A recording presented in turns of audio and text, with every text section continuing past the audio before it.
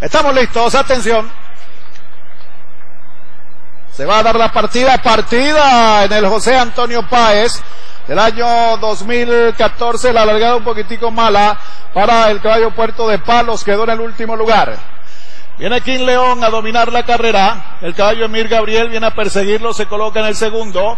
Mientras tanto, Megavatios está atacando y se acomoda en el tercero. En el cuarto anda Prince Junior.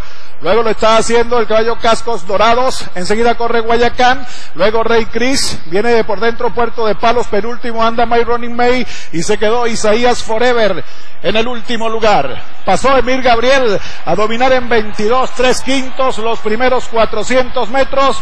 Emir Gabriel está dominando la carrera. Mientras tanto, a unos tres cuerpos en el segundo, hay pelea con Megavatios que trata de avanzar por la parte interior. Luego quedó King León. Enseguida viene mejorando ahora el caballo Cascos Dorado. Luego Prince Junior. Enseguida Rey Chris comienza el avance del caballo My Running May por la parte exterior de la cancha cuando se están acercando a la última curva. 45-4. Los 800. Emil Gabriel está dominando la carrera. Megavatios a la pelea. También Cascos Dorado con King León. Y allá viene el moro. El caballo My Running May. Aunque está todavía muy lejos el caballo My Running May. Está avanzando Megavatios por la parte central de la cancha. Viene Cascos Dorado por la parte exterior. E insiste Emil Gabriel en la pelea. Mientras tanto My Running May pasó al cuarto y trata de acercarse. Está dominando todavía por la parte central el caballo Megavatios. Insiste por la parte exterior el caballo Cascos Dorado. Megavatios domina la carrera y les gana el José Antonio Páez. El 3 Megavatios.